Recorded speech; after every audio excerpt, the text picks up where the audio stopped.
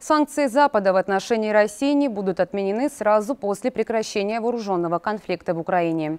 Для этого необходима нормализация ситуации соглашения Москвы с Киевом. Об этом заявил канцлер Германии Олаф Шольц на совместной пресс-конференции в Белграде с президентом Сербии Александром Вучичем. Обязательное условие изменения ситуации, улучшения обстановки, понимание России того, что она должна вести диалог с Киевом и договориться о соглашении, которым будут гарантированы территориальная целостность и суверенитет Украины, отметил Шольц.